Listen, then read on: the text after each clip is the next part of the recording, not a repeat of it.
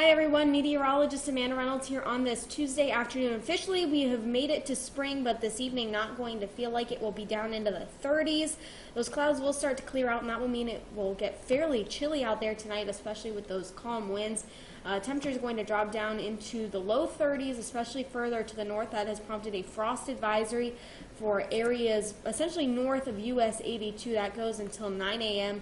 Uh, tomorrow morning. But again, we will see a slow warming trend as we go forward through the rest of the week.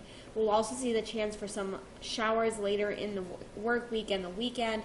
We'll also see a warmer trend as we go into the weekend as well. So again, tomorrow we'll be we'll see the sunshine once again. We'll be back near 60 degrees. Strong northwesterly winds. So that'll make it feel a little bit cooler, but then we'll be down into the 30s once again tomorrow night.